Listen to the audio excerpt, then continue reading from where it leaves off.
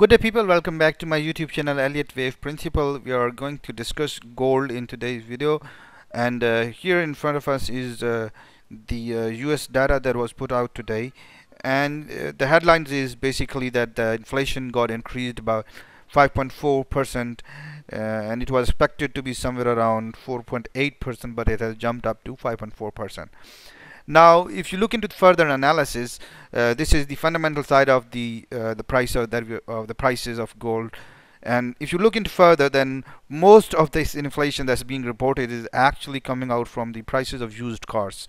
And there are different fundamental reasons for that. I do believe, and I'm using. It's not that I'm a, a huge fundamentalist, uh, as, as fundamental analyst. I actually look on to the technical side of it personally and I looked at which uh, side actually is uh, strengthening my argument on the on the technical side. And this is the argument in front of me that's in strengthening my bearish side on on gold. I am bearish on gold.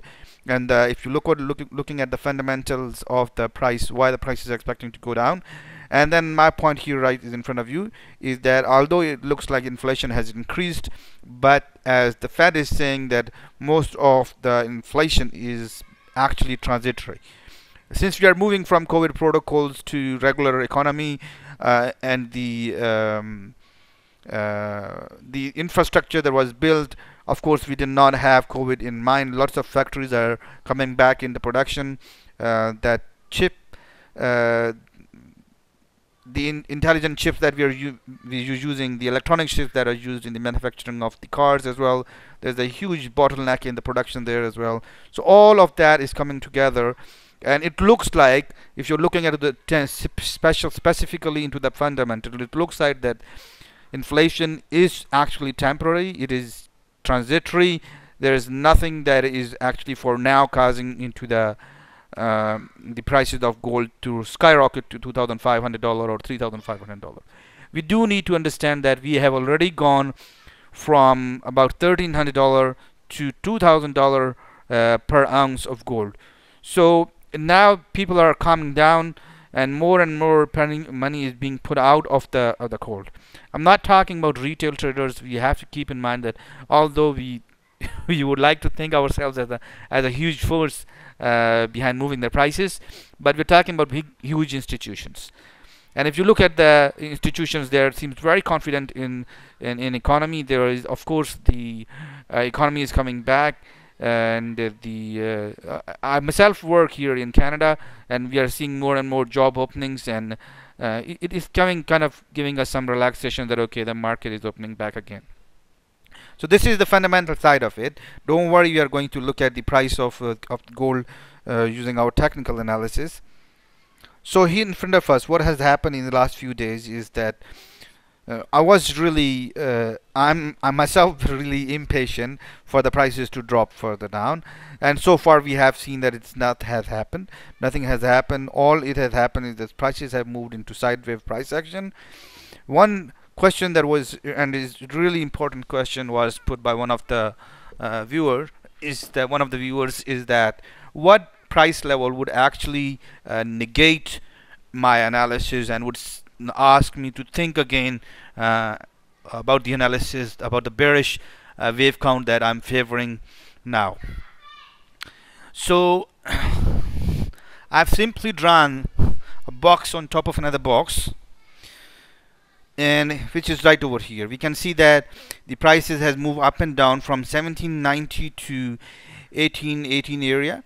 So if we can if prices can actually jump up the uh, about 100% of this whole price side price movement which would take the prices to 1845 so if prices can actually cross 1845 that would actually make me think that I'm terribly wrong in my analysis so if you are looking at a particular price level, if prices go behind, um, go beyond 1845 uh, before crashing, that would tell me that okay, I need to look at something else.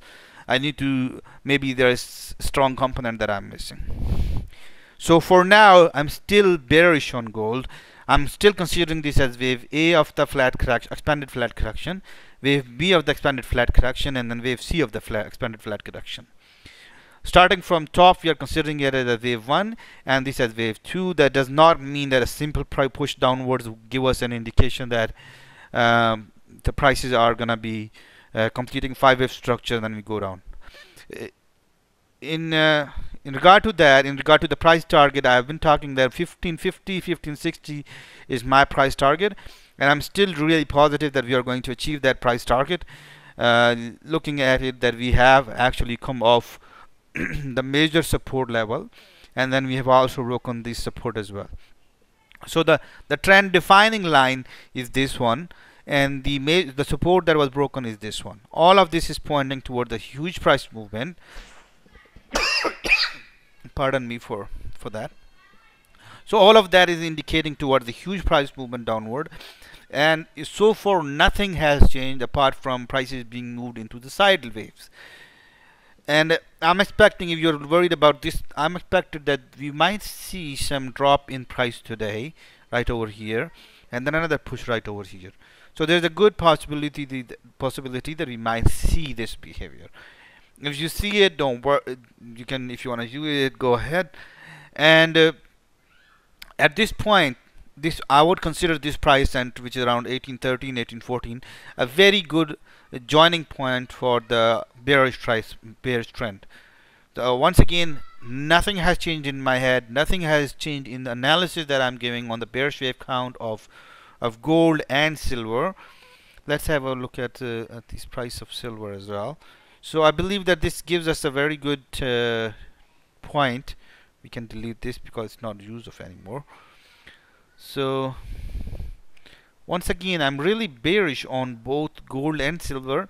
The the target for silver for first time target is uh, the next important target is 2180 so that's the important target for silver and then you will decide what happens after that when prices reach there. For gold I'm uh, positively bearish and the target of course is 1550 to 1560 for gold if you're worried about the side price movement and you want to get my input I am not absolutely not worried. One thing I completely forgot to tell and because of this side price movement because of this side price movement I was initially expecting that you were going to see one a lot of side waves two three lots of side waves four and five and there was a possibility that we might have seen a deeper two but because of lots of accumulation or distribution as already occurring this is giving me an indication that I would not dare to jump in and out of the trend once the prices come out of this range. So my point here is that once prices come out of the range I personally would not dare to judge the downward price movement. It's going to be very quick price movement right over here. So I would try to just uh, keep my stop loss bring the stop loss closer once of course the prices move back uh, go below it simply I would do that bring the stop loss closer and I would let the trade run. Initially I was thinking that okay there would be a chance probably uh, for for distribution but all of that distribution is already happening. So wish you good luck with your trading. See you guys in next few days. Have a good one and bye bye